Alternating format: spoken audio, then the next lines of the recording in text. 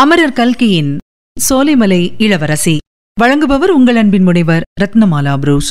சோலைமலை இளவரசி. அத்தியாயம் பன்னிரண்டு. அப்பாவின் கோபம். பொன்னம்மாள் சிறிது நேரம் திறந்தவாய் மூடாமல் அதிசயத்துடன் குமாரலிங்கத்தையே பார்த்து கொண்டு நின்றாள். குமாரலிங்கம் தன்னுடைய தவறை உணர்ந்தவனாய் கரை மீது ஏறி பொன்னம்மாளின் அருகில் வந்தான். பொன்னம்மா சட்டியில் என்ன? சோறு கொண்டு வந்திருக்கிறாயா? அப்படியானால் கொடு நீ நன்றாய் இருப்பாய். பசி பிராணன் போகிறது என்றான். பொன்னம்மாள் அதற்கு பதில் சொல்லாமல் சற்று முன்னால் ஒரு பெண் பிள்ளையின் பெயர் சொன்னாயே அந்த பெண் யார்? என்று கேட்டாள். என்னமோ பைத்தியக்காரத்தனமாய்த்தான் சொன்னேன். அது யாராயிருந்தால் இப்போது என்ன? அந்த சட்டியை இப்படி கொடு. நான் சாப்பிட வேண்டும். முடியாது. நீ நிஜத்தை சொன்னால்தான் கொடுப்பேன். இல்லாவிட்டால் இதை திரும்ப கொண்டு போய் விடுவேன். என்ன சொல்ல வேண்டும் என்கிறாய்? ஏதோ ஒரு பெயர் சொன்னாயே அதுதான். மாணிக்கவல்லி என்று சொன்னேன். அவள் யார்? அப்படி ஒருத்தியை ஊரிலே விட்டுவிட்டு வந்திருக்கிறாயா? உனக்கு கல்யாணம் ஆகிவிட்டதா இல்லை பொன்னம்மா இல்லை. கல்யாணம் என்ற பேச்சையே நான் காதில் போட்டுக் கொள்வதில்லை சுவாமி விவேகானந்தர் என்று கேள்விப்பட்டிருக்கிறாயா? அவர் என்ன சொன்னார் தெரியுமா? இந்த நாட்டில் ஒவ்வொரு மூடனும் கல்யாணம் செய்து கொண்டிருக்கிறான் என்றார்.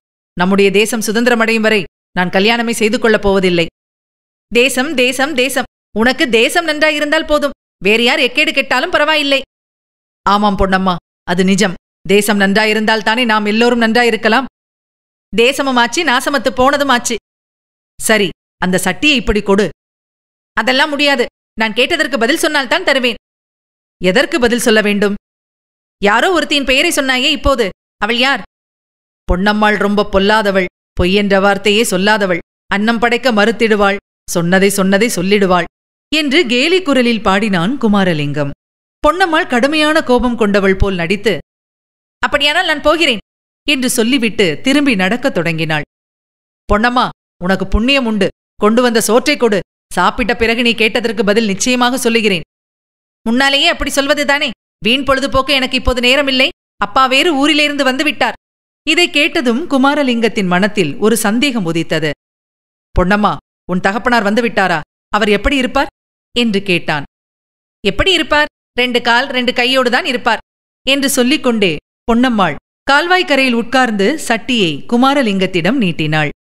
இது சோறு இல்லை பலகாரம். இலை கொண்டு வர மறந்து போனேன். சட்டியோடுதான் சாப்பிட வேண்டும் என்றாள். ஆகட்டும் இந்த மட்டும் ஏதோ கொண்டு வந்தாயே அதுவே பெரிய காரியம் என்று சொல்லி குமாரலிங்கம் சட்டியை கையில் வாங்கிக் கொண்டு அதிலே இருந்த பலகாரத்தை சாப்பிட ஆரம்பித்தான். எங்க அப்பாவுக்கு உன் பேரில் ரொம்ப கோபம் என்று பொன்னம்மாள் திடீரென்று சொன்னதும் குமாரலிங்கத்துக்கு பலகாரம் தொண்டையில் அடைத்துக்கொண்டு புறையேறிவிட்டது.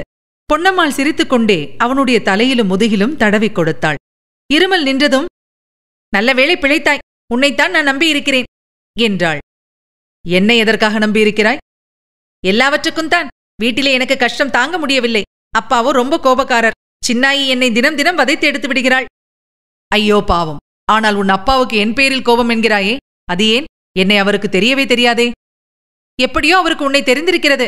நேற்று ராத்திரி உன் பெயரை சொல்லி திட்டினார். இது என்ன கூத்து? என்னை எதற்காக திட்டினார்? ஏற்கனவே அவருக்கு காங்கிரஸ்காரன் என்றாலே ஆகாது. கதர்கட்டிய காவாலி பயல்கள் என்று அடிக்கடி திட்டுவார். நேற்று ராத்திரி பேச்சுவாக்கில் அதன் காரணத்தை விசாரித்தேன்.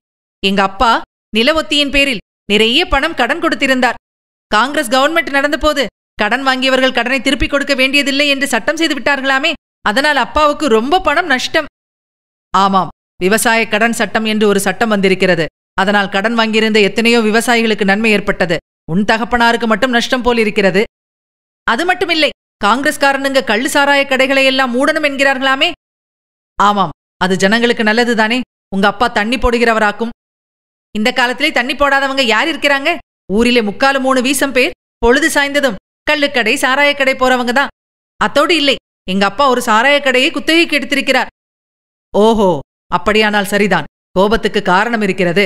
ஆனால் என் பேரில் அவருக்கு தனிப்பட எதற்காக கோபம்? நான் என்ன செய்தேன்? கேட்டை மூட்டை செவ்வாய்க்கிழமையெல்லாம் சேர்ந்து கொண்டது போல் ஆகியிருக்கிறது. கோர்ட்டிலே அவர் தாவா போட்டிருந்தாராம். சனங்கள் கோர்ட்டை தீ வைத்து கொளுத்து விட்டார்களாம். அதனாலே அவருடைய பத்திரம் ஏதோ எரிந்து போய்விட்டதாம். உன்னாலே உன்னுடைய பிரசங்கத்தை கேட்டதனாலே தான் சனங்கள் அப்படி வெறிப்பிடித்து கோர்ட்டை கொளுத்தினாங்க என்று சொல்லிவிட்டு உன்னை திட்டு திட்டு என்று திட்டினார். ஆனால் நீ இங்கே இருக்கிறது அவருக்கு தெரியாது.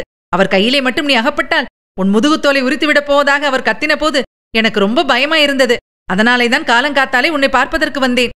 குமாரலிங்கத்துக்கு பளிச்சென்று ஒரு காட்சி ஞாபகத்துக்கு வந்தது.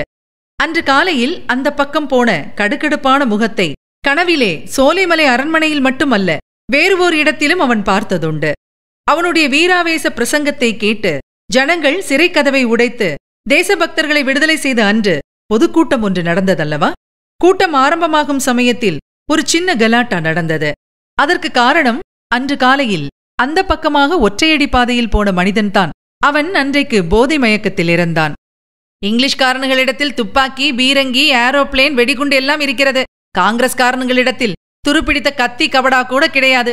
சவரம் பண்ணுகிற கத்தி கூட ஒரு பயக்கிட்டையும் கிடையாது. இந்த சூரன்கள் தான் இங்கிலீஷ்காரனை விரட்டி அடிச்சிட போறாங்களாம். போங்கடா போக்கடா பயல்களா? இந்த மாதிரி அவன் இறைந்து கத்தினான். பக்கத்தில் இருந்தவர்கள் அவனிடம் சண்டைக்கு போனார்கள். தொண்டர்கள் சண்டையை விலக்கி சமாதானம் செய்து அவனை கூட்டத்திலிருந்து வெளியேற்றினார்கள். இவ்வளவும் ஒரு நிமிஷத்துக்குள் குமாரலிங்கத்துக்கு ஞாபகம் வந்தது. நீங்கள் இதுவரை கேட்டது கல்கியின் சோலைமலை இளவரசி. வழங்கியவர் உங்கள் அன்பின் முனைவர் ரத்னமாலா புரூஸ். மீண்டும் அடுத்த அத்தியாயத்தில் சந்திக்கலாம். இணைந்திருங்கள் மகிழ்ந்திருங்கள். இது உங்கள் தமிழோசை எஃப்எம் இது எட்டு திக்கும் எதிரொலிக்கட்டும்.